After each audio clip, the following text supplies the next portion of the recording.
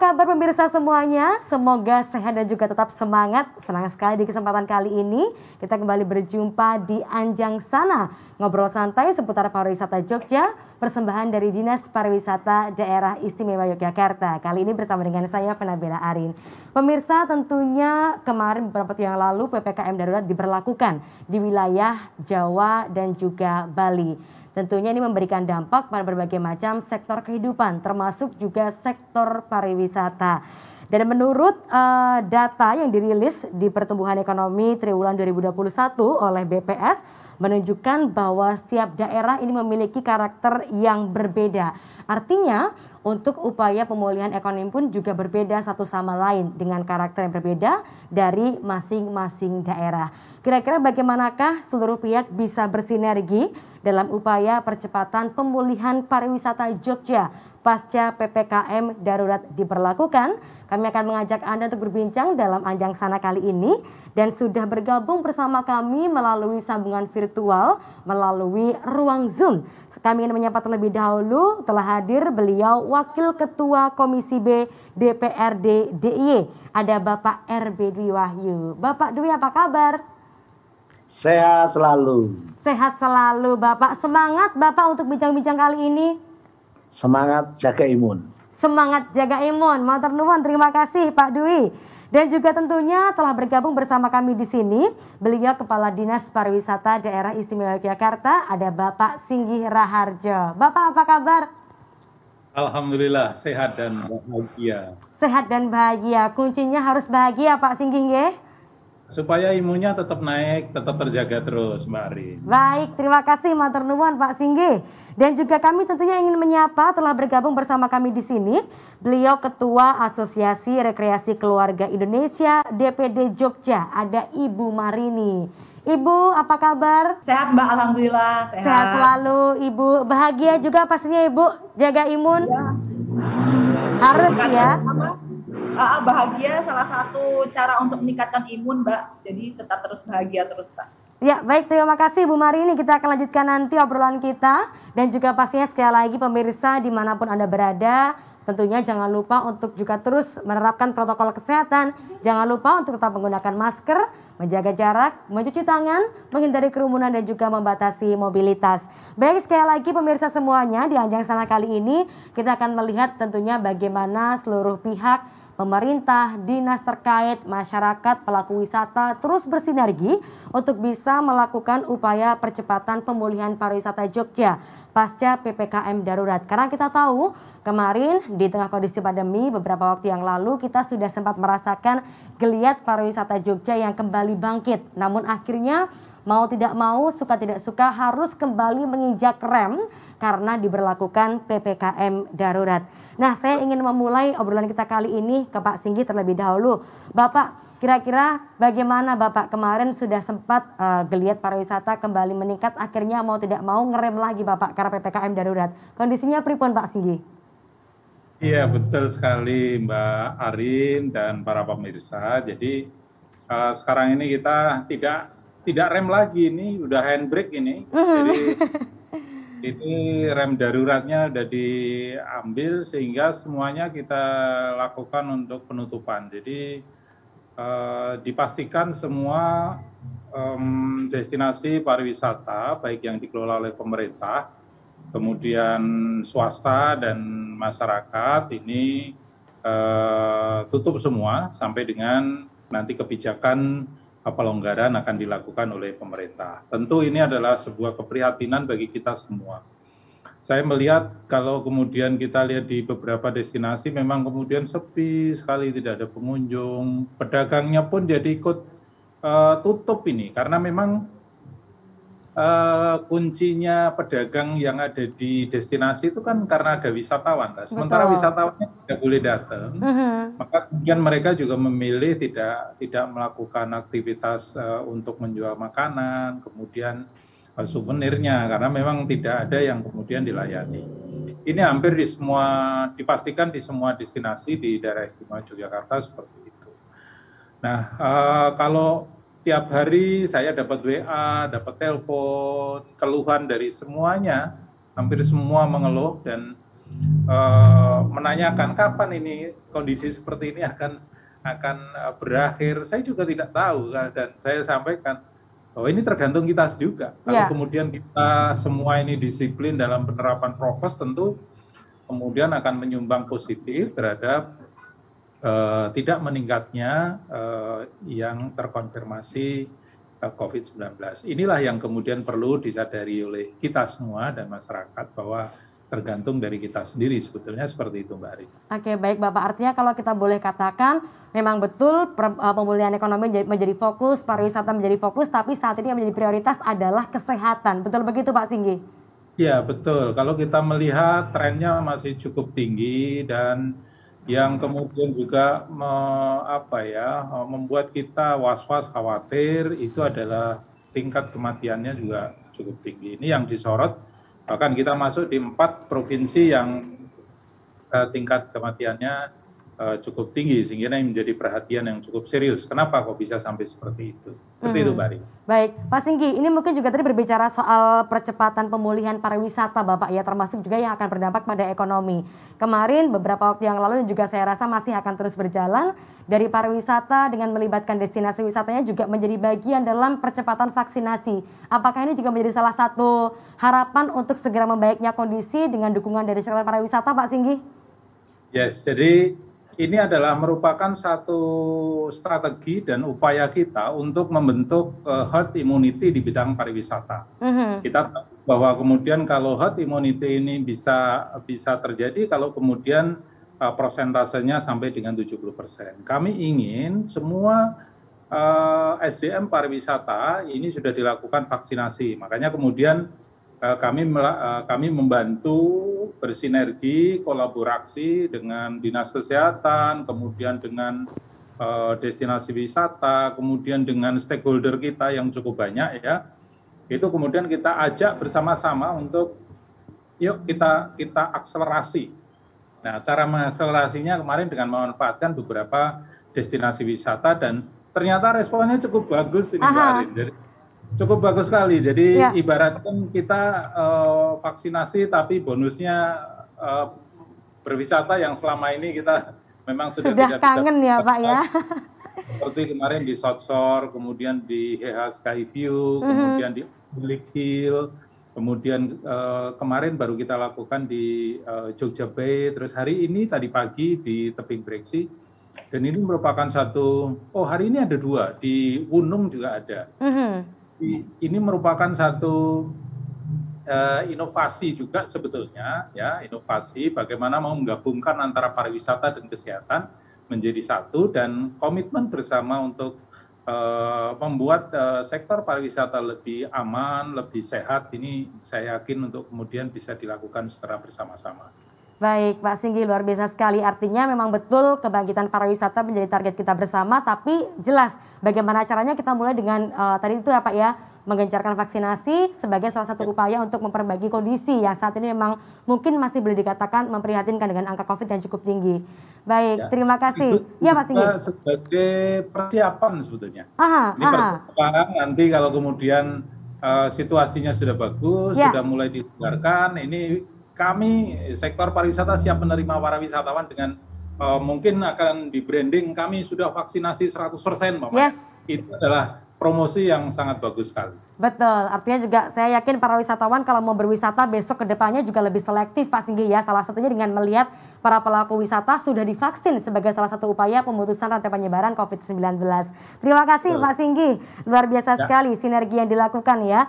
Dan uh, Pak Dwi Wahyu, Bapak kira-kira bagaimana melihat ini Bapak? Kemarin uh, kita tahu bahwa DIY masih terus berjuang untuk melawan COVID-19 mungkin kalau kita boleh bilang pariwisata di DIY juga memang akhirnya mau tidak mau tadi ya Pak yang ngerem untuk bisa menekan laju pertumbuhan uh, laju dari penyebaran COVID-19 namun juga di satu sisi menjadi suatu keprihatinan. Bagaimana Bapak dari Dewan melihat hal tersebut dan kira-kira sinergi seperti apa Bapak yang bisa kita lakukan? Ya, jadi kalau Pak Singgi tadi konsepnya adalah bagaimana menggabungkan pariwisata dengan vaksin, oke setuju. Tapi bagi saya itu hanya salah satu saja. Karena ini kondisinya seperti ini. Yang goalnya pastinya nanti akan memberikan image bahwa di DIY pariwisata aman karena kita sudah divaksin katanya begitu. Mm-hmm. Tetapi ini kan hanya sementara. Artinya begini, saya mau ngomong di Komisi B itu pasti ngomong tentang perekonomian yang tidak boleh berhenti. Nah, salah satunya basis perekonomiannya adalah pariwisata. Nah, pariwisata dengan kondisi pandemi ini tidak boleh berhenti. Itu. Nah, vaksin hanya salah satu apa namanya cara untuk apa namanya mengantisipasi pandemi ini dari perspektif kesehatan.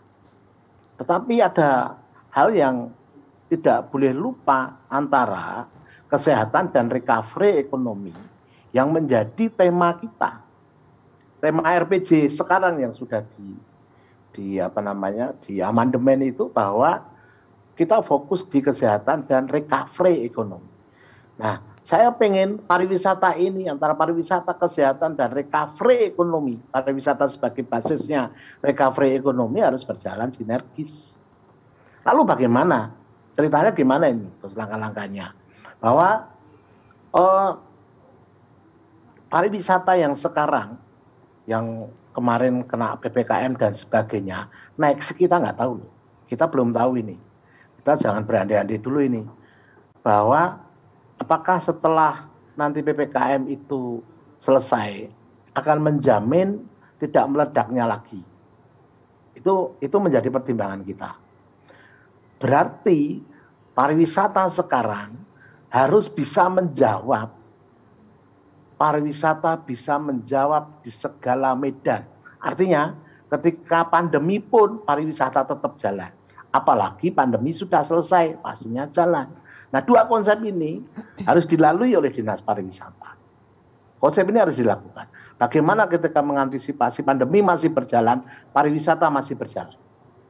Karena sekarang wisata tidak boleh ke destinasi, bagaimana caranya supaya pariwisata tetap pariwisata tetap kangen dengan Yogyakarta dengan sisi lain. Pastinya, pastinya saya mau katakan bahwa digital akan menjadi salah satu solusi. Hanya di pariwisata tidak boleh lepas dari garis besar haluan Riparda. Riparda tahun uh, Reparda nomor 1 tahun 2012 yang sudah diamandemen menjadi Riparda 1 2019 harus dievaluasi kembali. Harus dievaluasi kembali. Karena apa? Di tahun ini sampai tahun 2025 karena kita punya cita-cita sampai 2025 akan menjadi pariwisata berlevel Asia Tenggara. Mm -hmm. Nah, capaian capaian yang di apa namanya yang menjadi fokus di tahun ini sampai tahun 2025 adalah tentang event budaya. Mm-hmm. Baik, Bapak. Dan hari ini nggak mungkin dilakukan. Ya.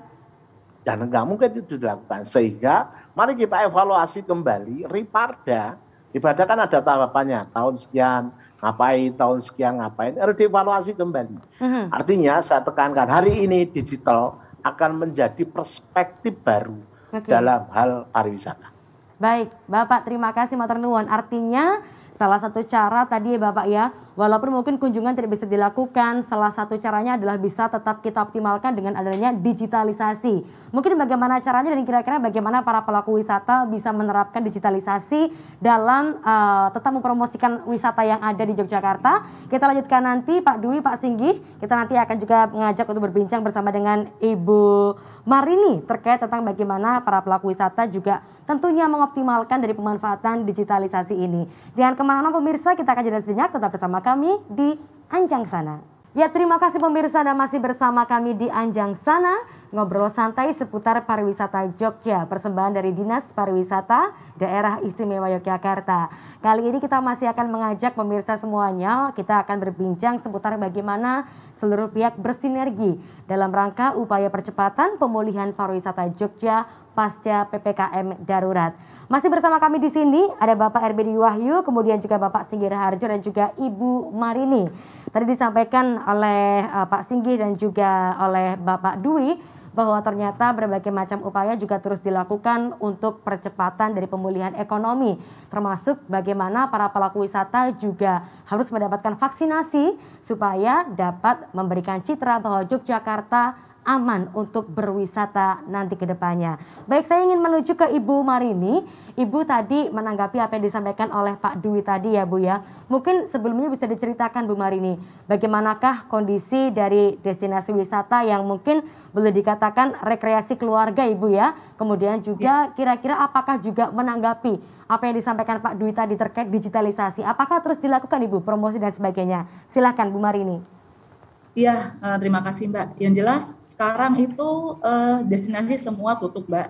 Tidak ada yang buka, tidak ada yang operasional. Uh, dan ya iya memang kalau ditanyakan strategi apa untuk sekarang ya kita hanya bertahan Mbak.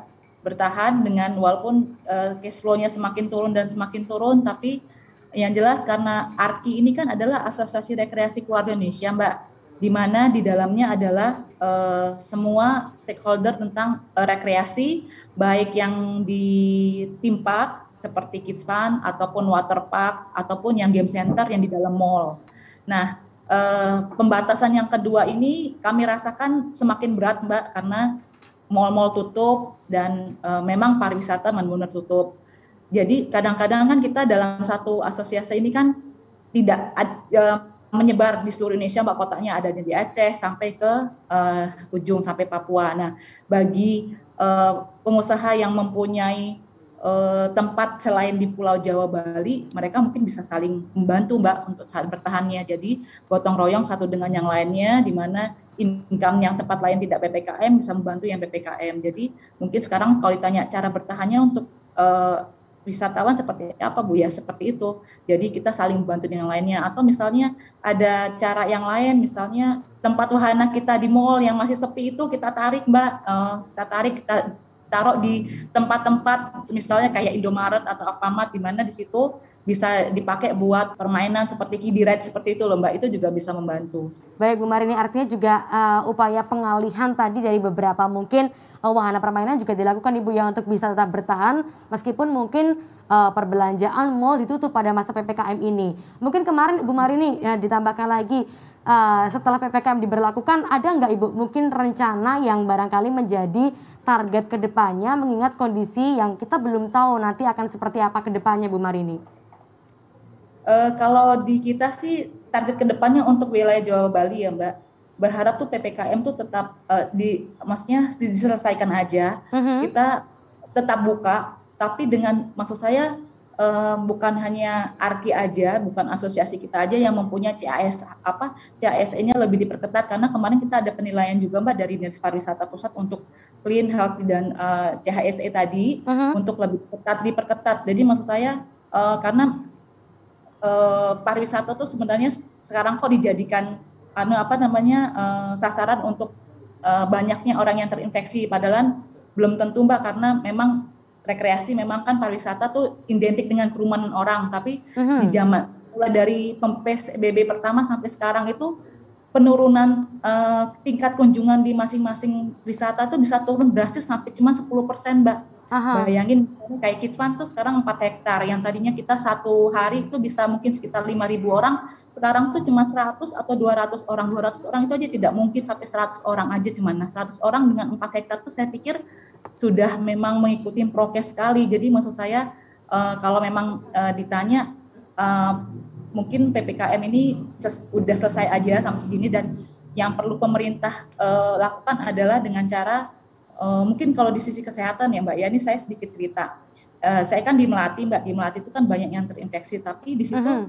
uh, uh, apa konsep gotong royong itu menjadi landasan saya untuk uh, me mengaplikasikannya di di uh, bisnis gitu loh Mbak. Jadi uh -huh. di sana mereka udah mulai masing-masing uh, kecamatan tuh sudah mulai memikirkan relawan untuk pemakaman COVID karena pada saat meninggal di rumah kita kan nggak mungkin manggil relawan yang di rumah sakit. Mm-hmm. Terus uh, untuk makan tadinya uh, ada ada warung tetangga yang tutup kita pakai untuk uh, tempat untuk uh, isoman gitu. Terus udah gitu ada satu mobil yang tadinya mobilnya dipakai untuk usaha, mobilnya dipakai untuk mengantar atau misalnya ada yang butuh ke rumah sakit. Jadi saya pikir wah berarti kalau konsep gotong royong ini saya pindahkan ke bisnis uh, asosiasi atau wisata, saya pikir bisa ya dengan cara tadi itu Mbak ada ya. beberapa tempat yang tidak ditutup bisa membantu yang tutup atau misalnya strateginya ya itu uh, uh, inovasi tadi dan uh, gimana caranya biar kita bisa tetap buka gitu loh Mbak seperti itu. Baik Ibu, Mbak. artinya juga upaya berbagai macam terus dilakukan ya Bu Marini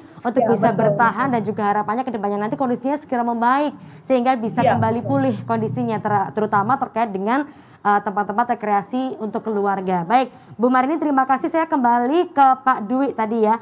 Ada yang disampaikan tadi Bapak kaitannya juga barangkali dengan Riparda tadi. Kira-kira bagaimana Bapak melihat tadi kondisi yang diceritakan oleh Ibu Marini dukungan dari pemerintah seperti apa Pak kira-kira yang bisa diberikan untuk kondisi saat ini dan juga ke depannya nanti? Ya, yang pasti kita nggak boleh putus asa. Mm-hmm. Mbak Marlina tadi saya agak putus asa.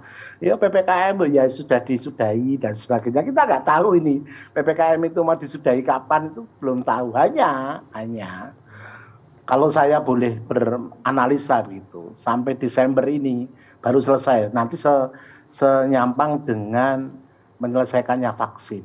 Nah, tahun 2022 menurut saya baru latihan new normal. Baru latihan new normal. Tapi sekali lagi yang saya katakan tadi, kita nggak boleh stuck terhadap perekonomian kita. Nggak boleh. Artinya kesehatan dan recovery ekonomi tetap berjalan. Pariwisata sebagai basisnya perekonomian juga tetap jalan. Caranya gimana? Tadi satu konsep adalah digital. Lalu bagaimana digital? Saya hanya memberikan begini. Pariwisata itu tidak hanya bicara tentang destinasi. Tetapi isi dari destinasi itu yang harus kita mainkan. Ingat loh ya, pariwisata itu industri. Dan di tempatnya Pak Sige itu punya kewenangan terhadap industri kreatif, industri ya pasti ada sandang, ada pangan, ada logam. Yang ini bisa dijual dengan konsep pariwisata. Jualnya gimana? Jualnya ya pakai digital. Jadi pariwisata digital. Untuk apa? Sambil menunggu pandemi ini selesai. Nah ini harus harus apa namanya terkonsep dulu, harus terkonsep dulu. Lalu bagaimana mempersiapkan industri pangan sandang logam tadi bisa menembus pariwisata. Nah, antara sinerginya antara dinas pariwisata yang punya kewenangan mengelola industri kreatif, walaupun tidak sendiri, tidak dikelola oleh Pak Sige sendiri, ada Indak, ada UMKM, kooperasi dan sebagainya, ini harus terkonsolidasi betul supaya produk ini mampu menembus pariwisata. Karena ironisnya, ironisnya adalah kita ini kalau bicara tentang produk-produk kreatif itu sak dabrek, sak dayak woy. Oke banget. Pertanyaannya adalah ketika bicara perizinan itu susah sekali. PIRT yang menjadi kewenangan kabupaten kota saja itu susah untuk dicari. Ini sih yang menjadikan yang menjadikan produk-produk kita ini tidak tidak apa namanya mulus menembus ke sana, ke pasar tadi, ke pasar digital tadi. Karena persyaratan pasar digital pasti di perizinan harus selesai. Harus clear dulu. Sehingga di DIY ini menunggu kita punya kewenangan tentang halal misalnya. Nah, kita menunggu karena ketika kami akan memberikan perizinan halal, itu PIRT yang menjadi kewenangan kabupaten kota harus selesai. Saya kira itu. Ya. Baik Pak Dwi, artinya juga seperti yang disampaikan Pak Singgi tadi ya bahwa memang betul kita semua pasti uh, terus bersinergi untuk mening, uh, membangkitkan sektor pariwisata tapi saat ini kesehatan menjadi salah satu concern utama untuk boleh kembali meningkatkan dan juga kondisinya supaya membaik terlebih dahulu baru nanti kita akan eksekusi ide-ide yang sudah kita canangkan termasuk tadi juga menjadi PR bagaimana kita bisa melihat pariwisata sebagai sebuah ekosistem. Kita akan lanjutkan setelah ini Bapak Ibu dan juga pemirsa kita akan jelas jenak. Jangan ke mana-mana tetaplah bersama kami di Anjang Sana. Terima kasih pemirsa Anda masih bersama kami di Anjang Sana ngobrol santai seputar pariwisata Jogja. Persembahan dari Dinas Pariwisata Daerah Istimewa Yogyakarta. Masih mengajak Anda untuk boleh berbincang lebih lanjut terkait dengan upaya percepatan pemulihan pariwisata Jogja pasca PPKM darurat. Dan juga tentunya masih bersama kami di sini Bapak RBD Wahyu, Bapak Singgira Harjo, dan juga Ibu Marini. Baik, kita akan melanjutkan tadi perbincangan kita. Saya akan menuju ke Pak Singgi terlebih dahulu ya Pak ya. Tadi Pak Dwi menyampaikan bahwa ketika kita berbicara soal pariwisata ini adalah sebuah ekosistem ya Pak. Bukan sekedar destinasi saja, bukan sekedar tempat wisata saja, tapi ada ekosistem di dalamnya. Industri kreatif, UMKM dan sebagainya juga menjadi bagian dari sektor pariwisata. Kira-kira Pak Singgi uh, terkait juga dengan tadi ya rekreasi, rekreasi keluarga di Yogyakarta, potensi seperti apa Bapak yang masih bisa terus digali dan dioptimalkan terlebih di masa pandemi ini Pak Singgi? Jadi begini, saya ingin menanggapi apa yang disampaikan Pak Dwi terlebih dahulu sebelum saya kemudian menjawab Mbak Ari. Jadi hmm. betul Pak Dwi, jadi kalau kita bicara uh, pariwisata tidak hanya destinasi, tapi uh, ekosistem pariwisata itu sangat-sangat luas sekali, sangat beragam sekali. Kalau kita bicara spektrumnya, itu pariwisata itu 13 usaha kalau kemudian kita bicara ekonomi kreatif ada 17 subsektor. Jadi memang kemudian ini uh, sangat luas sekali dan tidak bisa kemudian diselesaikan oleh Dinas Pariwisata itu sendiri. Tentu kita harus uh, uh, bersinergi bersama-sama untuk membangun uh, pariwisata ini.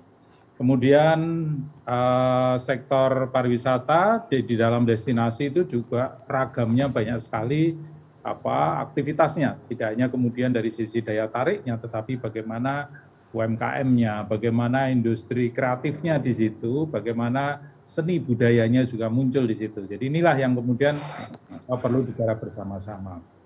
Ya, saya yakin nanti kita akan bisa lakukan percepatan untuk recovery tidak hanya destinasi tapi ekonomi juga. Nah, kemudian kalau kalau kemudian kita bicara tentang tidak hanya vaksin, ya jadi sekarang ini kami juga uh, terus lakukan uh, namanya untuk SDM pariwisata ini juga uh, terus.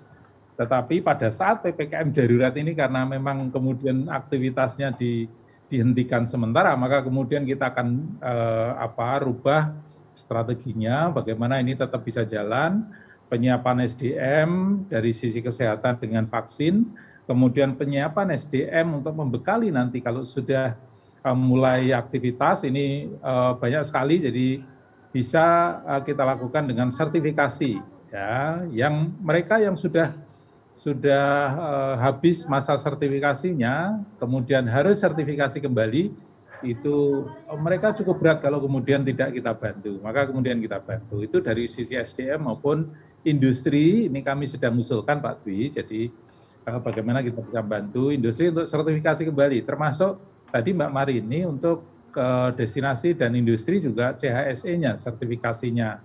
Ini pemerintah memberikan eh, fasilitasi secara gratis. Kemudian ada beberapa yang sudah kita sediakan juga, misalnya tadi Mbak Marini menyampaikan tentang insentif.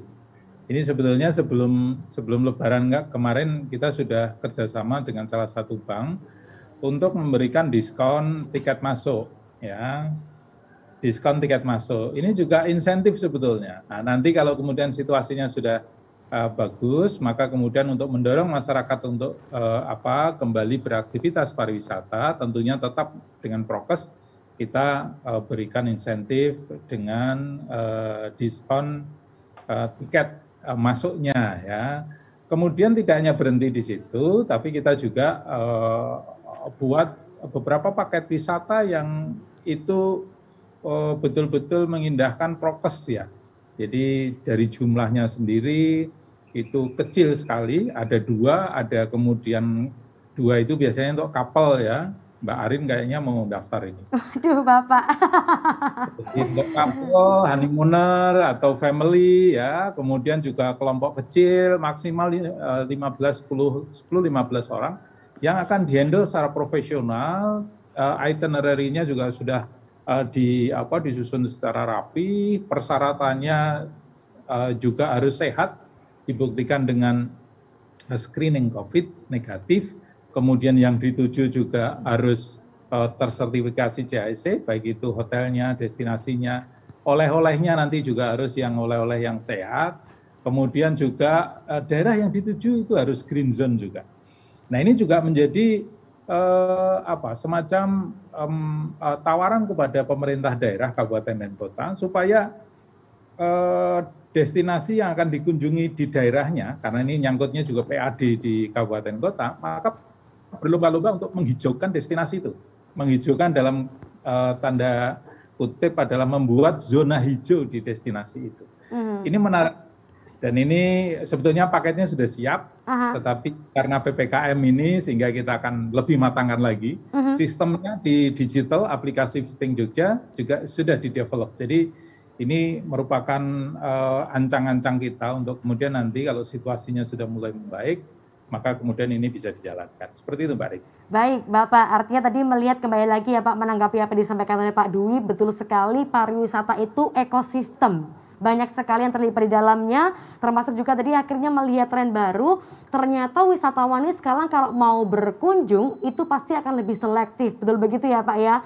Artinya kita pun sebagai pelaku wisata, kemudian juga penyelenggara dalam uh, destinasi wisata juga harus berlomba-lomba untuk bagaimana menunjukkan sekaligus juga menjadi bagian untuk menghijaukan wilayah dari destinasi tersebut. kira kira-kira mungkin seperti apa sih Pak Dwi contoh dari produk uh, kreatif ataupun mungkin juga produk-produk artisan khas UMKM di Jogja yang juga bisa kita terus dorong sebagai upaya untuk pemulihan ekonomi pasca PPKM ini, Pak Dwi. Oke, terima kasih. Uh, tapi sebelumnya saya mau apa, katakan begini.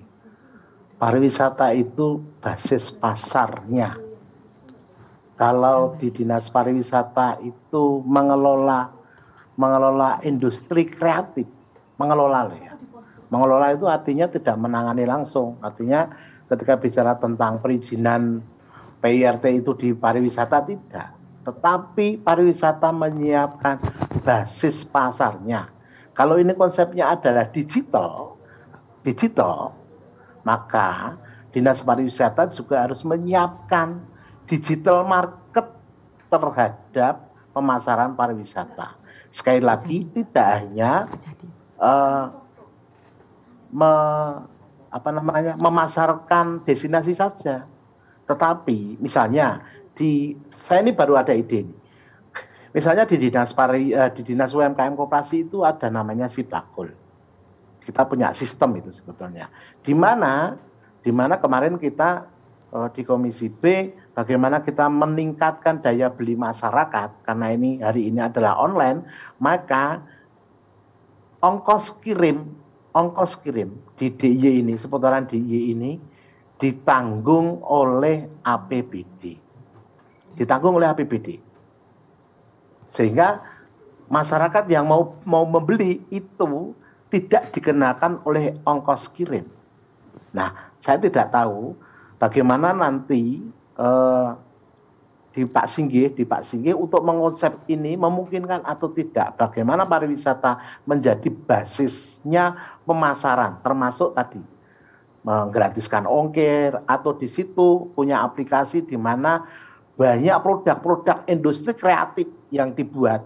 Tadi apakah industri kreatif itu banyak sekali industri kreatif olahan juga ada. Nah, saya katakan tadi yang namanya industri kreatif itu ada pangan, ada sandang, ada logam.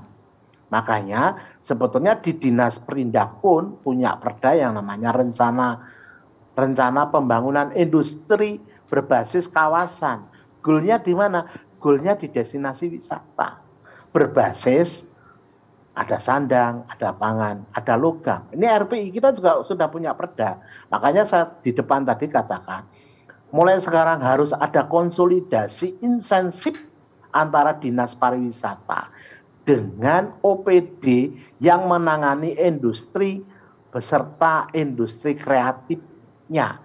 Bisa diindak. Besok kalau sudah offline ini diindak itu juga punya yang namanya uh, misalnya mengadakan batik on the street gitu. Batik on the street itu juga bisa dijual di pariwisata berbasis kawasan. Nah, di kampungnya Pak Singgih ini ada yang namanya terkenal dengan jumputannya. Dan waktu itu pernah kita adakan yang namanya jumputan on the street. Nah, itu juga bisa dijual di di pariwisata. Nah, sekali lagi bagaimana sekarang Dinas Pariwisata membuat digital yang bisa menjawab tantangan pariwisata. Nah, sekali lagi kalau bicara tentang uh, industri kreatif yang di mana Dinas Pariwisata punya kewenangan untuk mengelola ini segera diinventarisasi sampai kepada ada konsolidasi kelembagaan untuk bisa produk-produk industri kreatif tadi masuk di dalam pasar yang namanya pasar pariwisata. Itu itu yang yang pertama, Mbak. Ya. Lalu yang kedua, eh, Pak Singgih saya ingatkan kembali untuk mengevaluasi kembali tentang riparda kita.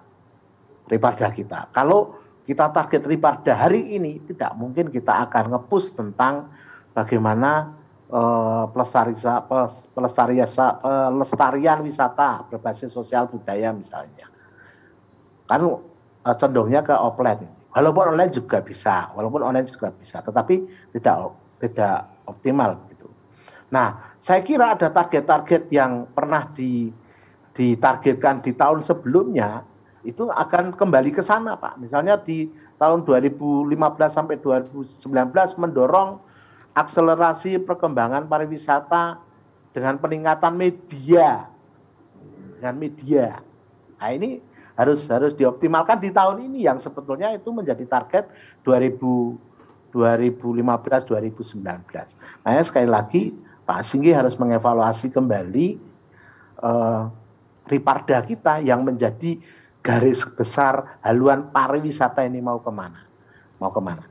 Itu Mbak. Ya, baik terima kasih Pak Dwi. Artinya sekali lagi tadi ya menjadi tugas kita bagaimana terus menggali potensi yang ada dan juga mengoptimalkannya mungkin juga saya rasa selaras dengan yang disampaikan Pak Singgi tadi ya dengan paket-paket yang dijual kemudian bagaimana uh, para wisatawan bisa mendapatkan kepercayaan untuk tempat berwisata dengan aman itu juga menjadi salah satu cara untuk mengoptimalkan potensi yang ada. Nanti kita akan lanjutkan lagi setelah ini termasuk bagaimana kira-kira nanti uh, Ibu Marini ya melihat hal tersebut sebagai sebuah tantangan, sebagai sebuah solusi barangkali untuk bagaimana tak bisa survive di tengah kondisi pandemi saat ini. Kita jeda sejenak Bapak Ibu dan juga pemirsa semuanya, tetap bersama kami di Anjang Sana. Terima kasih pemirsa Anda masih bersama kami di Anjang Sana, ngobrol asyik, ngobrol santai seputar pariwisata Jogja, persembahan dari Dinas Pariwisata Daerah Istimewa Yogyakarta. Masih melanjutkan obrolan kita terkait dengan percepatan pemulihan pariwisata Jogja pasca PPKM darurat dan juga tentunya masih bersama dengan ketiga narasumber ada Bapak Dwi, Pak Singgih dan juga Ibu Marini. Bu Marini tadi menanggapi apa yang disampaikan oleh Pak Singgih, Pak Dwi tadi ya terkait kita melihat pariwisata sebagai sebuah ekosistem. Artinya ketika kita ingin bangkit kita juga perlu bersinergi bersama-sama terus menggali potensi. Nah, Ibu bagaimana melihat hal tersebut? Apakah juga artinya di sini ada hal-hal yang masih bisa terus dikembangkan termasuk juga mungkinkah Ibu kira-kira ketika rekreasi keluarga juga akan itu berkolaborasi dengan pihak-pihak seperti industri kreatif, UMKM dan lain sebagainya. Silahkan Bu Marini. Uh, ya Mbak, yang jelas uh, kolaborasi dengan berbagai unsur seperti pentahelik, mulai dari pemerintah, akademisi, terus uh, media, bisnis itu memang sangat diperlukan pada saat ini Mbak. Uh, mungkin itu menjadi konsep gotong royong juga untuk bangun uh, perekonomian Jogja yang berbasis pariwisata ya Pak Dwi ya. Yang jelas masing-masing uh, uh, pelaku wisata memang harus mempunyai inovasi Mbak untuk mengatasi ini semua dan memang perlu bantuan di setiap unsur gitu loh Mbak. Jadi mungkin kalau uh, inovasi mungkin yang jelas Mbak uh, sama yang, yang harus yang kami lakukan sekarang adalah tetap menjaga tempat rekreasi atau wahana kami tetap bersih gitu loh dengan dengan mengikuti tetap uh, karena kita sudah mendapatkan sertifikat CHSE Mbak sebagian besar walaupun itu belum semuanya tapi uh, kita dan yakin juga uh, Pak walaupun dari kami dia pengennya ppkm cepat selesai walaupun dari sisi kesehatan dan pemerintah itu tidak memungkinkan ya kita tetap ikutin peraturan aja pak dan tetap semangat juga pak Dwi. Jadi maksudnya kalaupun nanti bisa buka uh, bulan Desember atau untuk bulan uh, November uh, untuk kebersihan dan segala macam kita tidak perlu bersusah payah lagi pak seperti seperti uh, pada saat PSBB pertama kali di mana pada saat tutup kita tinggalkan terus akhirnya recovery-nya juga cukup lumayan susah juga namun tapi yang kedua ini karena udah pengalaman Pak pada saat uh, penutupan kita tetap menyediakan beberapa orang untuk tetap kebersihan. Karena saya sih berharap uh, dari uh, mungkin kolaborasi dari Pentahelix ini bisa memberikan uh, contoh kepada masyarakat wisata yang aman dan green zone itu seperti apa gitu loh. Mungkin bisa disampaikan bahwa satu dia mendapatkan sertifikasi CISA atau dia menjaga uh, mengikuti protokol apa prokes kesehatan atau misalnya dilihat dari uh, dia mengurangi uh, apa less crowded atau dia mengurangi uh, sentuhan less touching atau segala macam. Mungkin seperti itu Pak. Uh, yang mungkin yang yang dibutuhkan dari uh, asosiasi seperti itu. Kalau adaptasi ya jelas Pak, kami sudah beradaptasi dari pertama kali dengan kondisi seperti ini yang terdampak sekali adalah sumber daya manusia dan itu pun kita sampaikan juga dengan pengurangan gaji karena sesuai dengan tingkat apa ya uh, omset yang kita terima atau tingkat hunian yang uh, yang datang atau customer yang datang atau misalnya kita juga sudah mulai restruktur biaya mana yang perlu diperlukan mana yang tidak terus yang ketiga mana yang perlu uh, kita concern untuk uh, digitalisasi atau misalnya apa yang perlu kita promosiin di, di yang penting untuk uh, digital dan segala macam itu sudah menjadi uh, bahasa baku yang terus-terus kita lakukan. Tapi memang untuk kolaborasi konsultasi petahelik memang kita butuhkan di sini Pak ke Pak Tui atau ke Pak Singgi seperti itu Pak. Begitu Mbak bagi saya. Terima kasih. Ya, baik Bu Marini artinya juga berbagai macam upaya termasuk maintenance terus dilakukan Ibu ya supaya nanti mungkin ketika kondisi sudah membaik, barangkali PPKM sudah mulai lebih longgar juga tetap bisa memberikan performa terbaik bagi para wisatawan ke depannya nanti. Begitu nggih Bu Marini? Baik, Baik, betul. Ya. Tetap berikan citra yang bagus lah Mbak pariwisata. Maksudnya jangan sampai nanti buka melihat oh, kok pariwisata tidak seperti green zone lagi. Gitu, Tapi tetap memberikan itu yang membuat kita tetap survive Mbak sampai sekarang. Gimana ya. caranya? Oh, gimana betul. caranya buat uh, taman wisata jadi tempat yang benar-benar ya buat anak-anak suka, buat orang lain juga bisa terhibur seperti itu. Mm -hmm.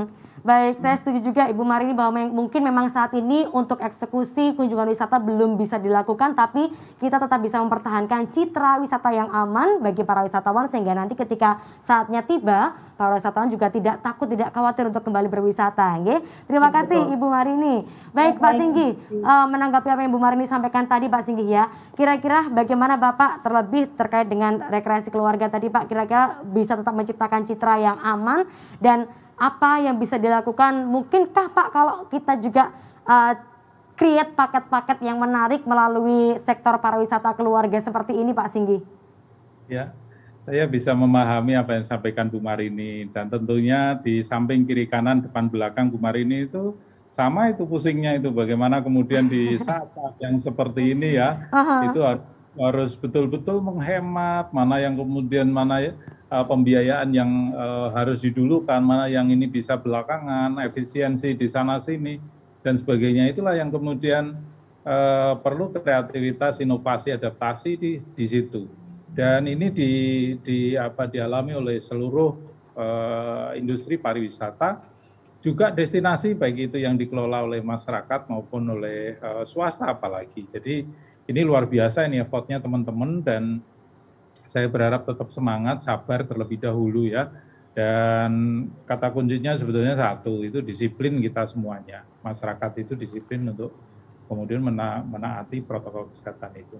Nah, kalau saya ditanya terus kira-kira apa sih yang kemudian akan dilakukan oleh pemerintah? Tentu eh, apa yang kemudian di apa diharapkan oleh Bu Marini dan teman-teman, saya kira ini nanti bisa di kita bisa inventarisir, kemudian kami uh, rembukan sama Pak Dwi ini yang yang uh, punya ke, apa itu kewenangan di bidang penganggaran dan sebagainya tentunya. Kami sebetulnya ingin ingin uh, memberikan apa ya uh, solusi nantinya. Saya masih berpikir begini. Kalau kemudian kita akan merestart kembali atau setelah PPKM ini kan berarti otomatis akan dimulainya operasional kembali.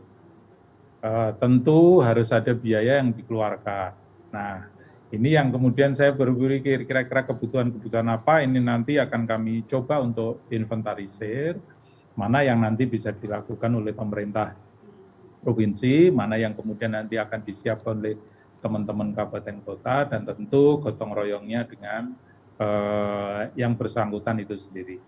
tentu ini dalam rangka untuk kemudian uh, bangkit bersama ya recovery yang disampaikan oleh Pak Dwi tadi ini betul-betul akan dirasakan sehingga kalau mau apa uh, dari uh, dari sekitar satu bulan ini duduk, kalau mau berdiri itu nggak awang-awangan, nggak kemudian gloyor-gloyor gitu ya, tapi duduknya juga lah kemudian agak agak smooth, enak gitu loh. Ini nanti yang uh, bisa didiskusikan ini sama Pak Dwi ini, begitu Mbak Arin. Ya, baik. Terima kasih Pak Singgi.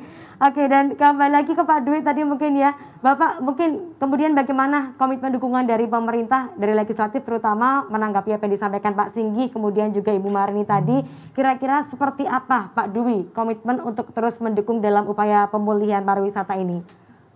Ya, di asosiasinya Mbak Marini itu kan apa namanya wisata buatan manusia. Iya betul, betul ya. Pak di ya, ya, betul. manusia. Yang sebetulnya juga sudah ada di dalam Ripartai itu Mbak. Pasal 15 ayat 1 aku udah hafal.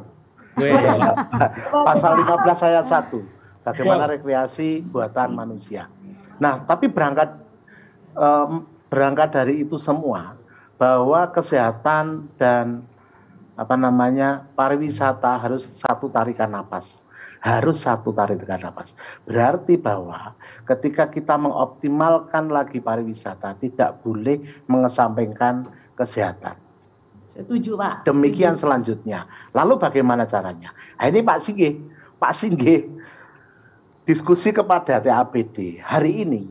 Hari ini PMK sudah keluar. PMK tentang penanganan COVID yang bisa menggunakan dana keistimewaan, Pak. Oh, siap. Kalau saya lihat kalau saya lihat PMK-nya itu memungkinkan. Bagaimana memberikan fasilitas kepada destinasi, destinasi wisata dalam perspektif kesehatan. Misalnya, saya dari dulu mencita-citakan bagaimana setiap destinasi wisata yang gede gitu. Paling tidak di situ punya SOP ketika mau masuk. Apa? Paling tidak ada genus. Paling tidak ada genus. Nah, pasti SDM-nya mudah oh ini untuk untuk dilatih Nah, bagaimana setiap destinasi punya genus sehingga ketika masuk di, di di lokasi destinasi itu kenyamanan pariwisata itu terjamin. Sehingga harapan kami dengan PMK, PMK-nya eh, yang memungkinkan dana keistimewaan untuk penanganan COVID, silakan Pak Singgih untuk pelajari itu bersama. Dari sisi dari sisi pariwisata apa yang harus harus kita ambil di situ? Kalau saya, kalau saya sudah membaca Pak Singgi, kok menurut saya, tapi ini butuh diskusi tuh nih. Menurut saya bisa memungkinkan untuk memfasilitasi dari sisi kesehatan di destinasi wisata. Pak Singgi belajar itu. PMK-nya baru-baru ini Pak, karena waktu itu baru ada surat dan surat sekarang ada sudah ada PMK-nya. Nah, ada diskusi bagaimana PMK bisa di breakdown dan menjawab persoalan-persoalan yang ada di kita dari sisi kesehatan untuk pariwisata. Saya kira itu Mbak Marina. Ya, ya oke okay, Pak, segar ini Pak. Jadi saya tidak bisa tidak pusing lagi, tidak gelir lagi ya Pak. Paling tidak angin segar Mbak Marini. Ya. saya tunggu ya Pak. Hari ini Pak Sige, saya itu kadang-kadang lucu. Loh kok asosiasi-asosiasi yang bergerak di pariwisata itu nggak pernah ngobrol dengan Komisi B. Jadi sehebat-hebatnya Pak Singgih itu hanya di perencanaan loh. Tetapi kalau ngomong duit di kami loh ya. Pak Pak Singgih bertugas membuat perencanaan dan mengeksekusi. Ya, betul. Nah, duitnya di saya. Ini harus sinergi. Dan kami punya duit. Pak Singgih nggak ada perencanaan juga nggak jadi. Iya, nah, kita harus harus kayak suami dan istri. Iya. Ya. Baik, terima kasih. Saya ada ya Pak. Ya. ya Baik. Uh, mungkin nanti ya Pak ya suatu saat kita bisa ngobrol bareng supaya tadi seperti yang Pak Sigi sampaikan kalau duduk nggak ayub-ayuben tapi duduk bisa ngobrol bersinergi bersama-sama ya. Baik, terima kasih. Mungkin sebelum kita akhiri obrolan kita kali ini karena waktu kita terbatas, mungkin dari uh, masing-masing narasumber dari Ibu Marini terlebih dahulu. Silakan mungkin harapannya seperti apa singkat saja Ibu. Monggo ya harapannya memang uh, perlu kolaborasi lagi ya Mbak. Yang ya. seperti sekarang ini ternyata Pak Dwi memberikan angin segar bahwa ada peraturan baru terbaru. Nah itu itu itu yang sangat kami tunggu Mbak. Jadi hmm. kalau masalah adaptasi inovasi dan segala macam itu kita sudah pelaku wisata sudah berusaha seperti apa pun itu udah kita lakukan Mbak. Jadi mungkin ya. Kolaborasi terhadap pihak-pihak uh, lain pentahelik itu sangat penting. Itu okay. namanya mungkin gotong royong di bisnis kali ya Mbak kalau saya boleh bilang. Terima okay. kasih Mbak. Baik, terima kasih. Dari Pak Dwi silakan Bapak singkat saja pandemi boleh jalan, tetapi pariwisata tetap eksis. Oke, siap Bapak. Terima kasih. Pak Singgi terakhir, monggo silakan Pak singkat saja. Ya, uh, apa yang kita lakukan sekarang ini adalah menyiapkan uh, untuk nantinya pariwisata bangkit kembali. Namun yang kemudian perlu kita siapkan kembali adalah mental kita, budaya kita untuk uh, selalu disiplin terhadap protokol kesehatan. Ya. Itu kata kuncinya supaya kita tidak uh, kemudian di PPKM lagi. Oke, okay, baik terima kasih Pak Singgi disiplin kesehatan supaya nggak PPKM lagi ya. Motor numus sekali lagi Ibu Marini, Pak Singgi, Pak Dwi untuk obrolan kita kali ini. Kita berharap kondisinya segera membaik dan pariwisata boleh kembali bangkit. Terima kasih Bapak Ibu narasumber semuanya. Ya. Baik yeah. pemirsa, tidak terasa kita sudah berbincang bersama selama kurang lebih satu jam dan juga tentunya sekali lagi menjadi tugas kita untuk bisa disiplin dan juga menjadi bagian dalam upaya pemutusan rantai penyebaran COVID-19. Sekarang nggak apa-apa ngerem dulu, nanti kalau kondisi sudah membaik kita lari-lari bareng lagi. Yang jelas ini bukan kita sendiri saja, tapi kalau kita mau bangkit, kita harus bangkit bersama dan juga tentunya saling memberikan energi positif untuk seluruh pelaku dari sektor pariwisata. Dan juga jangan lupa pastinya pemirsa, apa pun kegiatan Anda tetap patuhi protokol kesehatan, pakai masker, jaga jarak, cuci tangan, hindari kerumunan dan batasi mobilitas. Sehat selalu, saya Fana Bella Arin pamit diri. Sampai jumpa dan bye-bye.